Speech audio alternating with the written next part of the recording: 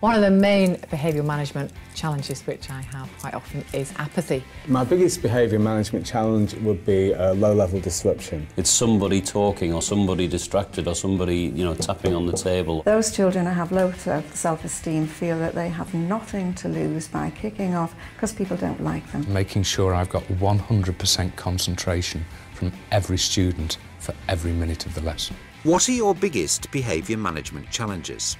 What are you doing well and what would you like to improve?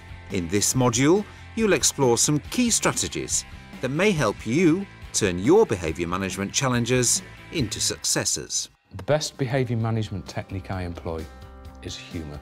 Getting on side children who have perhaps got the impression earlier on in the school that they were write-offs. Not have to shout at them, not have to kind of moan at them, but for us to have a level of mutual respect. Basic lessons, lessons where students can't actually have the, the opportunity to sit around idle. I've built some good relationships with the pupils and they seem to respect me and do as they're told first time, which is what I wanted them to do.